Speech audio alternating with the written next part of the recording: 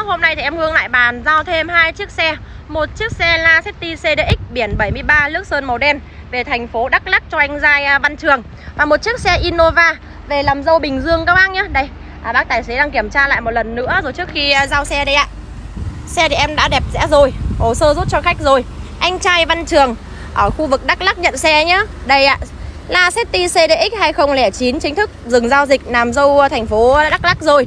Innova kia thì làm dâu Bình Dương các bác nhé. Hai chiếc xe cùng lên lồng đấy ạ.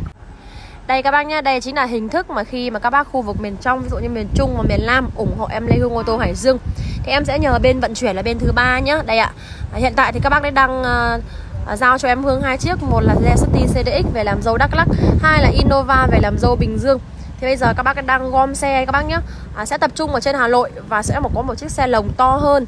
Sẽ cho 5-6 chiếc xe đi cùng một chuyến vào khu vực miền Nam.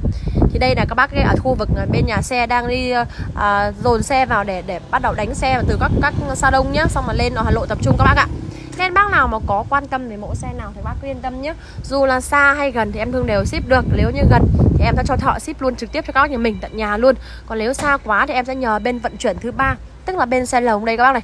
Nên các bác yên tâm nhé chất lượng và uh, chất lượng này và cách phục vụ của bên xe lồng rất là ok luôn. Em hoàn toàn tin tưởng đây các bác yên tâm ạ. Bên em Hương thì lúc nào cũng sẵn từ 150 cho đến 180 đầu xe. Rất là nhiều mẫu xe đang được chào bán bên em.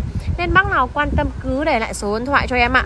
Kết nối Zalo cho em có số hotline 035 460 2790 à, anh Giai ở trong Đắk Lắk là anh Giai uh, Văn Trường này và anh Giai ở trên không Bình Dương nhá, Nhận hàng của em Lê Hương đây ạ. Quà từ Hải Dương gửi vào cho các bác nhà mình đây nhá.